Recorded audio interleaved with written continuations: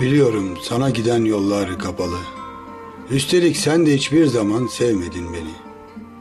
Ne kadar yakından ve arada uçurum. İnsanlar, evler, aramızda duvarlar gibi.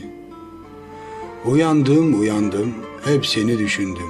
Yalnız seni, yalnız senin gözlerini. Sen bayan nihayet. Sen ölümüm kalımım. Ben artık adam olmam bu derde düşeli.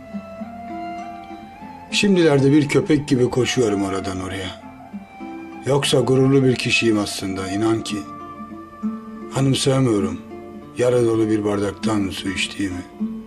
Ve içim götürmez kenarından kesilmiş ekmeği. Kaç kez sana uzaktan baktım. 5.45 vapurunda. Hangi şarkıyı duysam bizim için söylenmiş sanki. Tek yanlı aşk kişiyi nasıl aptallaştırıyor. Nasıl unutmuşum senin bir başkasını sevdiğini. Çocukça ve seni üzen girişimlerim oldu. Bağışla, bir daha asla tekrarlanmaz hiçbiri. Rastlamamak için elimden geleni yaparım. Bu böyle pek de kolay değil gerçi. Alışırım seni yalnız düşlerde okşamaya. Bunun verdiği mutluluk da az değil ki.